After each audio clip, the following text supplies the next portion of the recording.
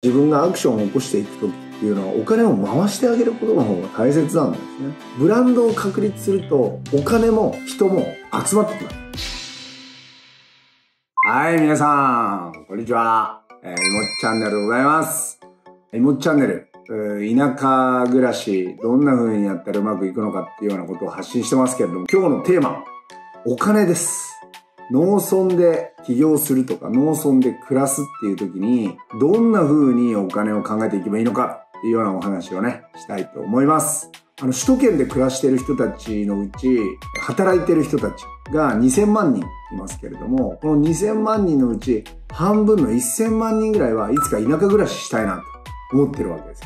なんだけど、この1000万人の人たちが田舎暮らしがしたいけどできないっていう理由のナンバーワンは実はお金なんですね。田舎暮らしするにはお金かかるなっていうふうにみんな思うと思うんですよ。まずお金に対する向き合い方なんですけれども、みんな結構お金って自分の労働に対して入ってくるものっていうふうに思ってると思うんですよ。つまり自分が何かお仕事をして、そのお仕事をした時間に対してそれの対価がお金として入ってくるっていうふうに思ってる人たちがめちゃくちゃ多いんですよ。なんだけど、お金っていうものは車でいう燃料みたいなもんですね。たくさんあったら、もちろん遠くに行けるかもしれないし、大きな車に乗れるのかもしれないし、はたまた違う選択肢っていうものがね、いろいろ見えてくるっていうことなんじゃないかなと思う。なので、お金が回っているっていうことと、あと、まあ、あるに越したことはないっていうことだと思うんですけど、でも、使わなければ意味がないわけですね。ここ結構ポイント。使わないと入ってこないっていう。お金をこう、円滑油として回してあげるっていう風な感覚になることがすごい大切なんじゃないかなと思ってます。経営のことを学んでいくと、そのテクニックみたいなことで、投資とかたくさんあるとは思うんです。でも、一つポイントとしては、お金をいかに回していくか。正直ね、僕、貯金0円。もうすぐ50歳。貯金0円ですよ。大丈夫なのかっていう話なんですけど。常に使ってます。使うし、入ってくる状況っていうのを作っていく。で、もちろんまあ個人的な部分もあるんだけど、会社もあるので、個人と会社っていうのをこう分けて、もちろん考えていく必要があるわけですよね。個人で言えば、えー、貯金はありません。でも会社としてはお金はしっかり回るような状況。あまあもう個人としてもお金が回るような状況にはなってるわけなんですけど、個人もその会社もお金をどうやって回すかっていうのを常にいろいろ考えて動かしてる。実はですね、皆さん知ってると思うんですけど、日本って預貯金大国なんです。預貯金がすごい。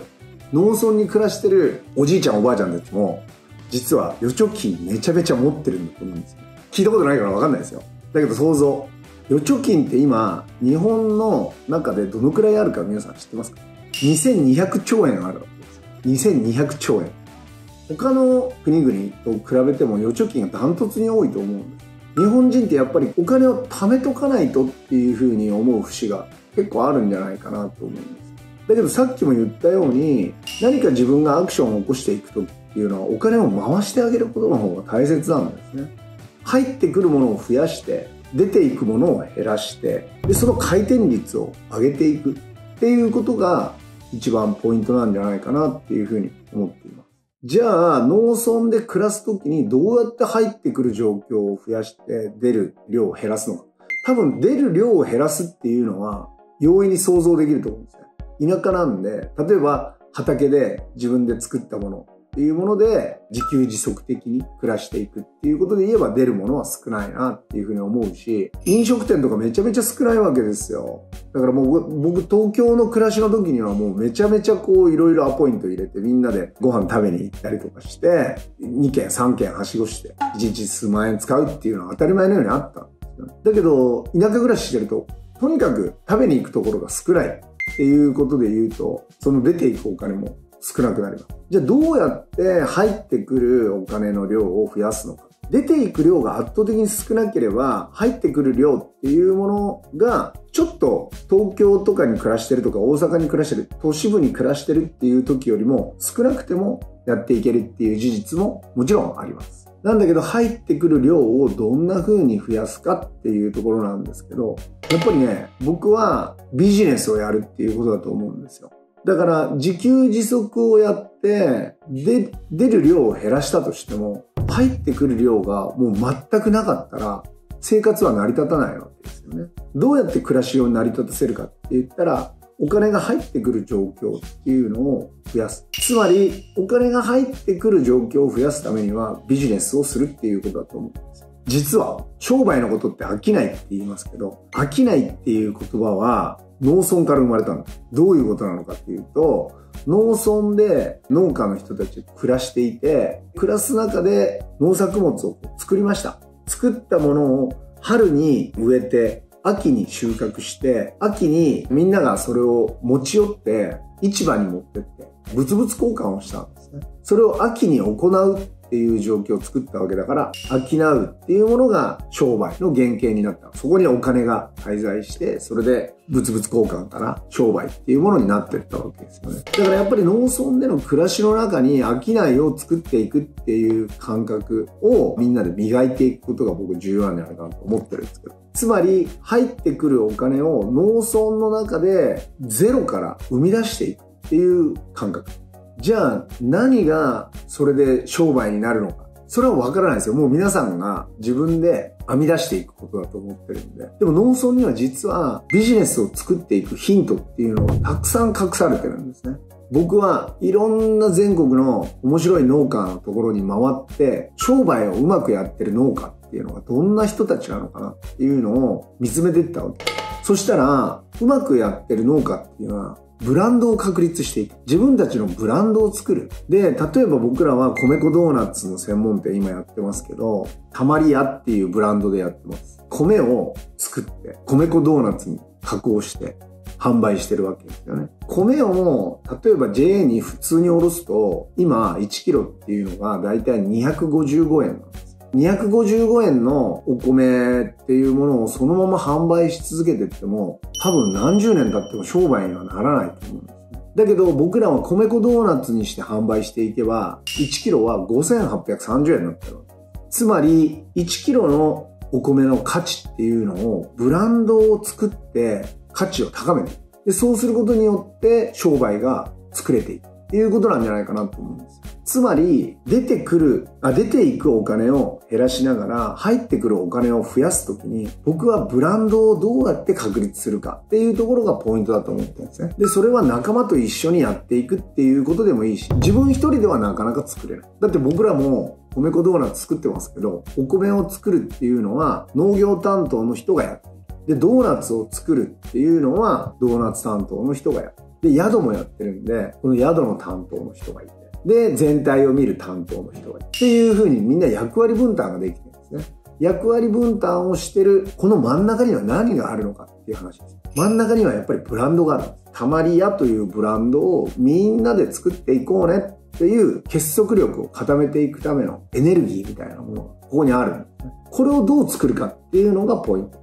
なので、ビジネスを作っていくっていうことイコール、自分たちがやりたいなって思う方向に向けてブランドを確立していくっていうことなんじゃないかなって思うわけです。ブランドを確立すると、お金も人も集まってきます。そこを先にやるっていうのが超重要だと僕は思う。今日はお金の話っていうことなんだけれども、お金を回してあげるっていうための真ん中に何があるかって言ったら、僕はブランド作り。ブランド作りができて、お金がしっかり回っていって、この車に乗ってどこ行くのっていう話になるんじゃないかなと思うんですね。円滑油としてのお金っていうのはめちゃくちゃ重要です。これがなければ回らない。僕よく車に例えるんですけど、暮らしの部分がボディで、ビジネスの部分はエンジンだっていう風に言ってるんですね。これ両方とも構築する必要があるんです。車が動く時に何が必要か。やっぱりエンジンが必要なんです。で、それを運転する人が必要なんです。みんなでね、こういう農村での生き方っていうので、どっちの方向に行くんじゃいっていうふうに語り合うところで、エンジンがうまく回るためのお金であるとか、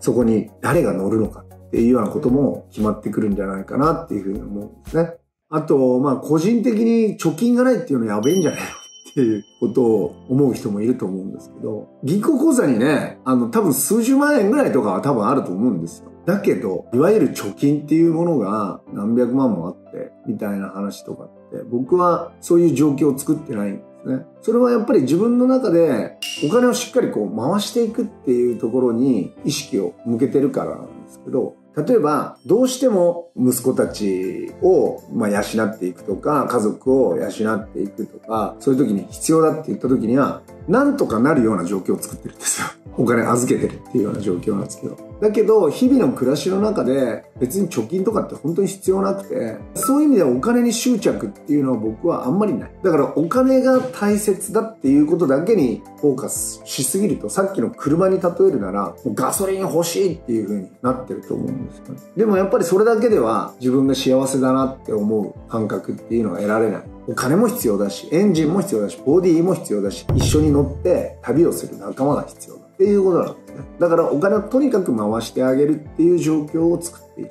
出るから入る。入るから出るんだと思うんですね。そういうことに意識をしながら、皆さんもなんかこうお金をストックしとかないとできないっていうふうに思うんではなくて、自分がアクションすることに対して、どんな風に仲間を集めていくとか、お金も集めていくっていう風に考えるのか。ここがポイントだと思うんです。今現在、ないと思ってるかもしれないけど、お金って世の中にあります。いっぱいあります。あるお金をピュッとここに集まる状況ってどうやったらできるのかっていう話です。やっぱり自分が真ん中でやりたいことこれだよねっていうふうに思う気持ち、これを言葉にしてみんなに発信してると、世の中からお金がうーんってこう、いやいや、いぼっちゃん嘘でしょ？みんな思うかもしれないけど、これ本当なんですよ。こんな思いでやりたいんだとか、農村をこんな風に元気にしたいんだとか、で農村で生み出したもので商売を作りたいんだ。仲間と一緒に歩いていきたいんだ。その仲間の暮らしも幸せにしていきたいんだっていう意志。